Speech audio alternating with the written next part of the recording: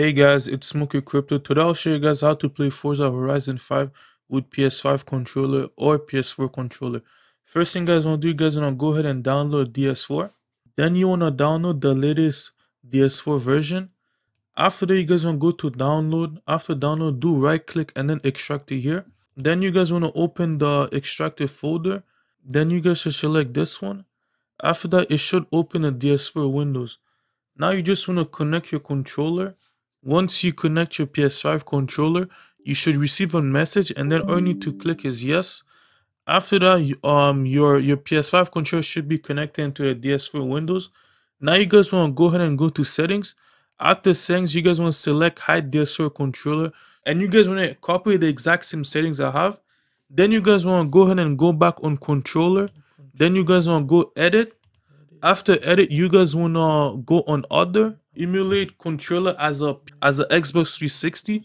The reason why you're doing that is simply because since Forza has the settings of Xbox and it's an Xbox game, so it's not gonna work if you select PS4. Um, uh, that's why you that's why you need to select Xbox 360. Then you guys want to go ahead and go back on touchpad.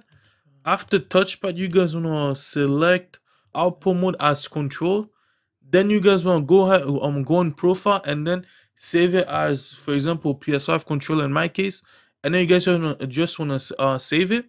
Then you guys want to go ahead and actually open forza horizon 5 once forza is open you guys want to go ahead and select x on your controller then it should work. I'm going to show you guys some gameplay just to show you guys in fact it does work on ps5 controller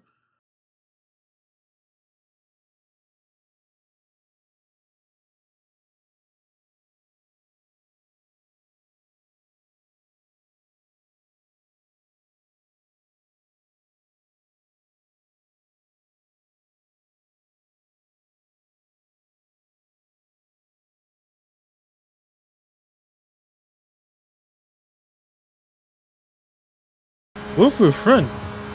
Went for a friend. You're not catching me, boy. Peace. Woo-hoo-hoo-hoo. Yo, my car is too crazy. My car is actually too crazy, boy. My car is too crazy, man.